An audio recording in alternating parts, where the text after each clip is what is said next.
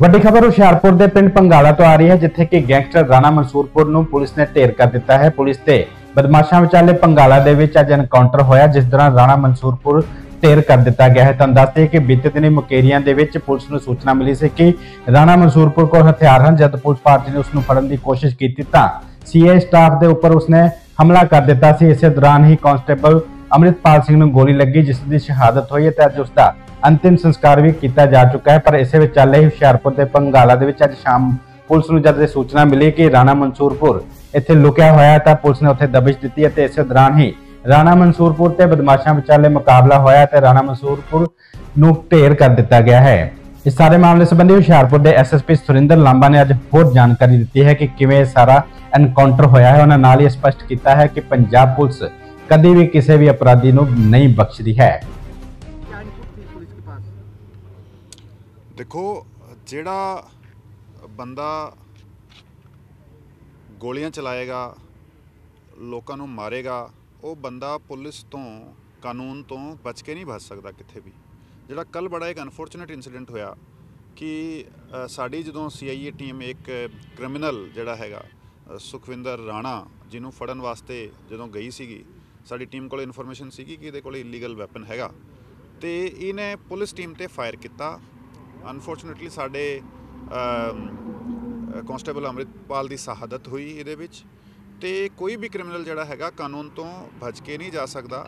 ਜਦੋਂ ਉਹ ਲੋਕਾਂ ਦੇ ਉੱਪਰ ਕਾਤਲਾਨਾ ਹਮਲੇ ਕਰੇਗਾ, ਲੋਕਾਂ ਨੂੰ ਜਾਨੋਂ ਮਾਰੇਗਾ ਤੇ ਖਾਸ ਤੌਰ ਤੇ ਪੁਲਿਸ ਤੇ ਜਦੋਂ ਜਿਹੜਾ ਹੈਗਾ ਉਹਨੇ ਹਮਲਾ ਕੀਤਾ ਹੈਗਾ ਤੇ ਡੈਫੀਨਿਟਲੀ ਕਾਨੂੰਨ ਦੇ ਹੱਥ ਬੜੇ ਲੰਬੇ ਹੁੰਦੇ ਹੈਗੇ। ਅਸੀਂ ਕਮਿਟਿਡ ਹਾਂ ਪੰਜਾਬ 'ਚ law and order peace and harmony maintain ਕਰਨ ਵਾਸਤੇ। ਸਾਡੀ ਟੀਮਸ ਕੱਲ ਤੋਂ ਹੀ ਜਿਹੜਾ ਹੈਗਾ ਇਸ ਕ੍ਰਿਮੀਨਲ ਦੀ ਭਾਲ 'ਚ ਲੱਗੀ ਹੋਈ ਸੀਗੀ। ਸਾਡੇ ਸਾਰੇ ਜੀਓਜ 6-7 ਸਾਡੇ ਡੀਐਸਪੀਜ਼, ਤਿੰਨ ਸਾਡੇ ਐਸਪੀਜ਼, ਸਾਡੀ ਸੀਆਈਏ ਟੀਮ, ਸਾਡੇ 6-7 ਐਸਐਚਓਜ਼, ਵੱਖ-ਵੱਖ ਆਲਮੋਸਟ ਸਾਡੀ ਜਿਹੜੀ ਹੈਗੀ 20 ਟੀਮਾਂ ਜਿਹੜੀ ਇਸ ਚੀਜ਼ 'ਚ ਇਹਦੀ ਭਾਲ 'ਚ ਲੱਗੀ ਹੋਈ ਸੀਗੀ ਕਿ ਇਹਨੂੰ ਛੇਤੀ ਤੋਂ ਛੇਤੀ ਫੜ ਕੇ ਕਾਬੂ ਕੀਤਾ ਜਾਵੇ ਤੇ ਕਾਨੂੰਨ ਮੁਤਾਬਿਕ ਸਜ਼ਾ ਦਿਲਾਈ ਜਾਵੇ। ਤੇ ਸਪੈਸੀਫਿਕ ਲੀਡ ਸਾਡੇ ਕੋਲੇ ਕੱਲ ਵੀ ਸੀਗੀਆਂ, ਜਦੋਂ ਸਾਨੂੰ ਪਤਾ ਲੱਗਿਆ ਕਿ ਇਹਨੂੰ ਉੱਪਰ ਆਪਣੇ ਹਾਜੀਪੁਰ ਦੇ ਜੰਗਲਾਂ ਦੇ ਵਿੱਚ ਕਿਸੇ ਬੰਦੇ ਨੇ ਛੱਡਿਆ ਉਧਰ। ਉਧਰ ਸਾਡਾ ਕੋਆਰਡੀਨੇਟ ਸਰਚ ਆਪਰੇਸ਼ਨ ਕੱਲ ਚੱਲਦਾ ਰਿਹਾ।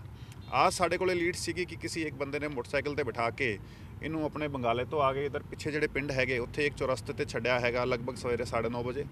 ਉਸ ਤੋਂ ਬਾਅਦ ਸਾਡੇ ਕੋਲੇ ਹੋਰ ਸਪੈਸੀਫਿਕ ਲੀਡ ਆਈ। ਲਗਭਗ ਮੇਰੇ ਖਿਆਲ 5 ਵਜੇ ਦਾ ਟਾਈਮ ਰਿਹਾ ਹੋਏਗਾ। ਤੇ ਉਦੋਂ ਦੱਸਿਆ ਗਿਆ ਕਿ 2:30 ਵਜੇ ਦੇ ਆਸ-ਪਾਸ ਆ ਬੰਦੇ ਨੇ ਦੇਖਿਆ ਗਿਆ, ਪਿੱਛੇ ਖੇਤਾਂ ਦੇ ਵੱਲ, ਉਧਰ ਜਿੱਧਰ ਕਾਫੀ ਡੈਂਸ ਫੋਰੈਸਟ ਹੈਗਾ ਛੋਟਾ। ਤੇ ਸ- ਅਸੀਂ, ਸਾਡੀ ਟੀਮਸ ਨੇ ਆ ਪੂਰਾ ਏਰੀਆ ਜਿੱਥੇ ਇਹਨੂੰ ਛੱਡਿਆ ਗਿਆ ਸੀਗਾ ਸਵੇਰੇ, ਉਹਦਾ ਲਗਭਗ 5 ਕਿਲੋਮੀਟਰ ਦਾ ਰੇਡੀਅਸ ਦਾ ਏਰੀਆ ਵੱਖ-ਵੱਖ ਥਾਵਾਂ ਤੇ ਪੈਟਰੋਲਿੰਗ ਟੀਮਸ ਬਣਾ ਕੇ ਕੋਰਡਨ ਕੀਤਾ ਹੋਇਆ ਸੀਗਾ। ਤੇ ਅਸੀਂ ਜਿੱਦਾਂ ਜਿੱਦਾਂ ਮੂਵਮੈਂਟ ਇਹਦਾ ਸਾਨੂੰ ਟਰੇਸ ਹੋ ਰਿਹਾ ਸੀਗਾ, ਹਾਲਾਂਕਿ 3-4 ਘੰਟਾ ਡਿਲੇ ਤੋਂ ਚੱਲ ਰਿਹਾ ਸੀਗਾ ਸਾਡਾ ਟਰੈਕਿੰਗ ਬਟ ਸਾਡੀ ਟੀਮਸ ਲੱਗੀ ਹੋਈਆਂ ਸੀਗੀਆਂ। ਅੱਜ ਜਦੋਂ ਸ਼ਾਮ ਨੂੰ ਇੱਥੇ ਮੇਰੇ ਖਿਆਲ ਲਗਭਗ 6 6 6 6:30 ਵਜੇ ਦਾ ਟਾਈਮ ਰਿਹਾ ਹੈਗਾ ਜਦੋਂ ਸਾਡੀ ਟੀਮ ਇੱਕ ਟੀਮ ਇਸ ਰੋਡ ਤੇ ਪੈਟਰੋਲਿੰਗ ਕਰਦੇ ਹੋਏ ਆ ਰਹੀ ਸੀਗੀ ਤੇ ਆ ਬੰਦਾ ਇੱਥੇ ਮੇਰੇ ਪਿੱਛੇ ਜਿਹੜੀ ਥਾਂ ਤੁਸੀਂ ਦੇਖ ਰਹੇ ਹੋ ਇਧਰ ਜਿਹੜਾ ਹੈਗਾ ਇਹਨਾਂ ਨੂੰ ਲੋਕੇਟ ਹੋਇਆ। ਪੁਲਿਸ ਟੀਮ ਨੂੰ ਦੇਖਦੇ ਹੋਏ ਸਿੱਧਾ ਹੀ ਇਸਨੇ ਮਤਲਬ ਇਹਦੀ ਡੇਰਿੰਗ ਤੁਸੀਂ ਦੇਖੋ ਕਿ ਇਹਨੇ ਪੁਲਿਸ ਟੀਮ ਨੂੰ ਫੇਰ ਦੇਖਦੇ ਹੋਏ ਕੱਲ ਇਹਨੇ ਅ, ਇੱਕ ਕ੍ਰਾਈਮ ਕਮਿਟ ਕੀਤਾ ਹੈਗਾ ਤੇ ਫੇਰ ਇਹਨੇ ਪੁਲਿਸ ਟੀਮ ਵੱਲ ਵੈਪਨ ਕਰਕੇ ਫਾਇਰ ਕੀਤਾ। ਇਮੀਡੀਏਟਲੀ ਸਾਡੀ ਟੀਮਸ ਕਿਉਂਕਿ ਰੈਡੀ ਸੀਗੀਆਂ ਪ੍ਰੋਪਰਲੀ ਆਲਰੇਡੀ ਇਹਦੀ ਬਹਾਲ ਚੱਲ ਰਹੀ ਸੀਗੀ, ਉਹਨਾਂ ਨੇ ਰਿਟੇਲੀਏਟ ਕੀਤਾ। ਆ ਬੰਦੇ ਨੇ ਐਸਕੇਪ ਕਰਦੇ ਹੋਏ ਜਿਹੜਾ ਹੈਗਾ, ਪਿੱਛੇ ਜਾ ਕੇ ਆਪਣਾ ਬਚਾਅ ਕਰਨ ਦੀ ਕੋਸ਼ਿਸ਼ ਕੀਤੀ, ਫਿਰ ਫਾਇਰ ਕੀਤਾ। ਤੇ ਅਲਟੀਮੇਟਲੀ ਸਾਡੀ ਟੀਮ ਨੇ ਜਿਹੜਾ ਹੈਗਾ ਰਿਟੇਲੀਏਟ ਕਰਦੇ ਹੋਏ ਐਕਸਚੇਂਜ ਆਫ ਫਾਇਰ ਚ ਜਿਹੜਾ ਇਹ ਤੇ ਬੁਲਟ ਇੰਜਰੀਜ਼ ਹੋਈ। ਤੇ ਜਦੋਂ ਐਗਜ਼ਾਮਿਨ ਕੀਤਾ ਗਿਆ ਤੇ ਆ ਫਿਰ ਮੌਕੇ ਤੇ ਡੈੱਡ ਪਾਇਆ ਗਿਆ। ਤੇ ਕੋਈ ਵੀ ਬੰਦਾ ਜਿਹੜਾ ਹੈਗਾ, ਉਹ ਇਸ ਤਰੀਕੇ ਦੇ ਹੀਨਸ ਕ੍ਰਾਈਮ ਨੂੰ ਕਮਿਟ ਕਰੇਗਾ ਤੇ ਉਹ ਕਾਨੂੰਨ ਦੇ ਜਿਹੜੇ ਹੈਗੇ ਸਿਕੰਜੇ ਤੋਂ ਬਾਹਰ ਬਚ ਕੇ ਜਾ ਸਕਦਾ ਪੋਸੀਬਲ ਨਹੀਂ ਹੈਗਾ। ਸਾਡੀ ਟੀਮਸ ਨੇ ਬੜਾ ਚੰਗਾ ਕੰਮ ਕਰਦੇ ਹੋਏ ਸਾਡੇ ਸਾਰੀ ਟੀਮਾਂ ਇਨਫੈਕਟ ਸਾਰੇ ਅਸੀਂ ਲੱਗੇ ਹੋਏ ਹੈਗੇ ਤੇ ਸਾਰਿਆਂ ਨੇ ਜਿਹੜਾ ਅ, 24 ਘੰਟੇ ਜਿਹੜੇ ਹੈਗੇ ਉਹ ਲਗਭਗ ਸਾਨੂੰ ਕ੍ਰਾਈਮ ਕਮਿਟ ਹੋਣ ਤੋਂ ਬਾਅਦ ਇਹਨੂੰ ਟਰੇਸ ਕਰਨ 'ਚ ਲੱਗੇ ਹੈਗੇ। ਤੇ ਚਲੋ ਮਤਲਬ ਡੈਥ ਹੋਣਾ ਜਿਹੜਾ ਹੈਗਾ ਉਹ ਇੱਕ ਡਿਫਰੈਂਟ ਗੱਲ ਹੈਗੀ ਬਟ ਅਸੀਂ ਇਹਨੂੰ ਟਰੇਸ ਕੀਤਾ ਤੇ ਐਕਸਚੇਂਜ ਆਫ ਫਾਇਰ ਤੇ ਇਹਨੇ ਸਾਨੂੰ ਚੈਲੰਜ ਕੀਤਾ ਤੇ ਅਲਟੀਮੇਟਲੀ ਉਹ ਆਪਣੇ ਐਕਟ ਵਾਸਤੇ ਰਿਸਪੌਂਸਿਬਲ ਹੈਗਾ। ਕਿੰਨੇ ਲੋਕ ਸੀਗੇ ਸਾਰੇ?